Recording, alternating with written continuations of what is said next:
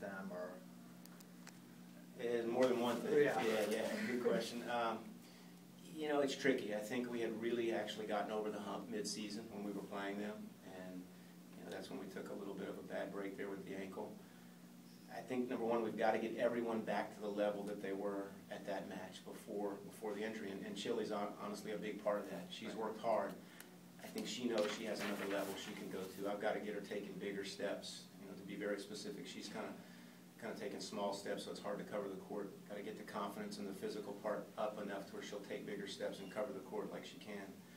Um, but there's so many things. We have a lot of X's and O's for sure. You know, they're dangerous. They're tough because of Capra.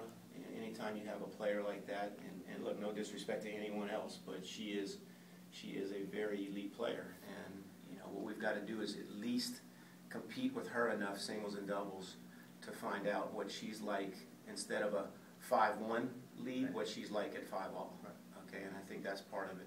I know down the line, though, that we match up right now really well. I like the way the lineups came out. Um, I know he's always, always attentive to lineups and thinking about that, and I think largely he tries to match up with us. And I think we got it right again this time, so I like the matchups.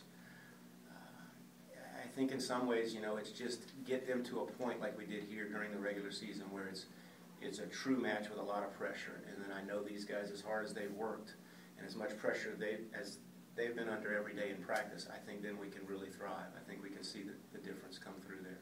Yeah, Lindsey, when you play a team like Duke who you haven't had much success against, is there any kind of mental kind of barrier or hurdle you think you guys have to?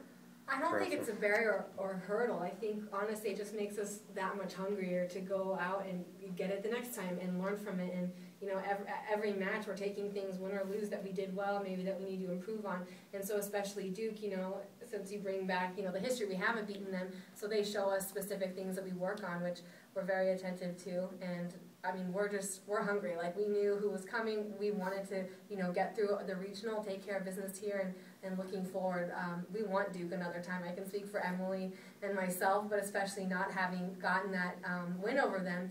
You know, it's it's been great to be so much more competitive now. You know, the four years, but uh, we're hungry for it.